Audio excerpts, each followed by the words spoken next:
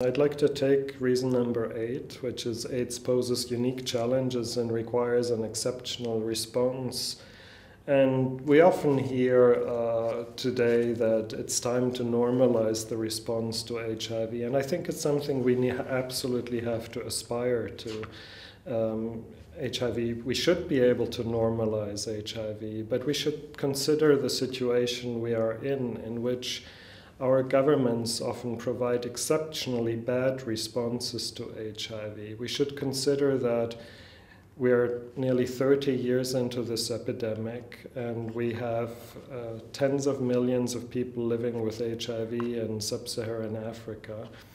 And we have many members of parliament in those countries who have died of HIV or AIDS and not a single member of parliament in any of those countries in the continent of Africa has dis- publicly disclosed his or her HIV status. This shows how severe the stigma still is, how, how uh, people fear disclosure of their HIV status. If we if 30 years after this epidemic has started, we still don't have a single person elected to office who has disclosed their status, if we see vast um, parts of the world in which um, people have uh, no access uh, to HIV prevention, when they are people who use drugs, when they are men who have sex with men, when there are women living in relationship with with men who deny them their rights, when there are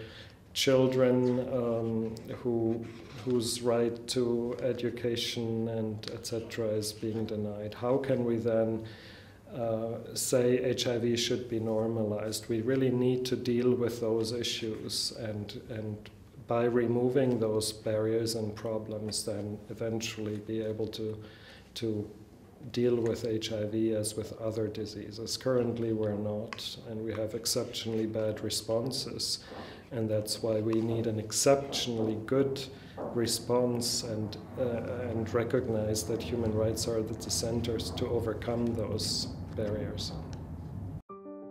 For further information on human rights, HIV/AIDS, and to endorse now more than ever the joint statement, visit www.hivhumanrightsnow.org.